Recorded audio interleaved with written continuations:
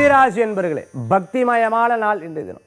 ரொம்ப பக்தியாக ஒவ்வொரு காரியத்தை எடுத்து பண்ணுவேன் அவன் அருளாலே அவன் தாள் வணங்கி அப்படின்னு சொல்லி இறைவனுடைய நாமத்தை சொல்லி சொல்லி சொல்லி சொல்லி அவருடைய அனுகிரகம் இருக்குங்காட்டி இன்னைக்கு இப்படி இருக்கேன் அப்படின்னு ஒரு எண்ணத்தோடவே ஒவ்வொரு காரியத்தையும் செயல்படுவேன். விசேஷமான பலன்கள்லாம் உண்டு. எதிர்காலத்தில் நல்ல முன்னேற்றங்கள் தரக்கூடிய அற்புதமானதாக இருந்துருக்கும்.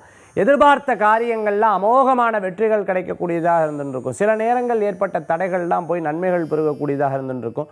முயற்சி லாபத்தையும் வெற்றியும் கொடுக்கக்கூடியதாக உண்டு. இன்றைய தினத்தில் சில விஷயங்கள்லாம் முடிவெடுக்கிறதுக்கு ரொம்ப சுலபமாக இருந்துருக்கும். அதுவே கூட்டு தொழில் பண்ணுறவாளுக்கு வெற்றிகள் உண்டு. பூர்வீக சொத்து எதிர்பார்த்தவாளுக்கு வரன்கள் கிடைக்கக்கூடியதாக இருக்கும். திருமண வரன்கள் எதிர்பார்த்தவாளுக்கு அற்புதமான பலன்களும் குழந்தை வரம் எதிர்பார்த்தவாளுக்கு அற்புதமான பலன்களும் கூடி வரக்கூடிய அற்புதமான நாள்.